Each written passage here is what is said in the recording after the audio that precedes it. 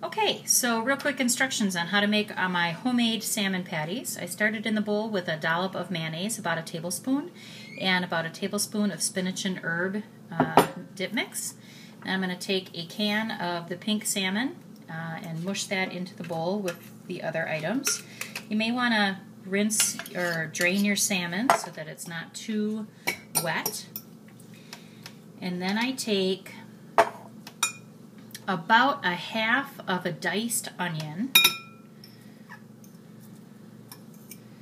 And I'll show you the size of that onion in a sec. About a cup of um, breadcrumbs. About, I'm sorry, that was a half a cup, and a quarter cup of panko crumbs. I'm going to mix that up a little bit. Now I have an egg allergy, so normally when I make this, I will use an egg replacer to kind of give it a binding, or I'll go without, and then our salmon patties are a little more crumbly than normal, but today I'm going to use an egg. So I'll go ahead and crack that puppy in here. And then I'm also going to add some garlic garlic. And I, am not really a measurer, and I have our garlic garlic in a grinder because I like it a little finer in recipes like this. So I'm going to guess this is about, oh, half a tablespoon, teaspoon and a half, something like that. Throw that in there. And then when I'm all done, right before I put it on in a hot frying pan with about two tablespoons of oil, either uh, regular olive oil or our roasted garlic infused oil, which is fabulous.